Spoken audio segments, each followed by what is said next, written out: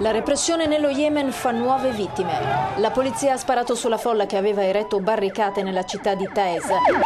Il bilancio, secondo fonti mediche, è di almeno un morto.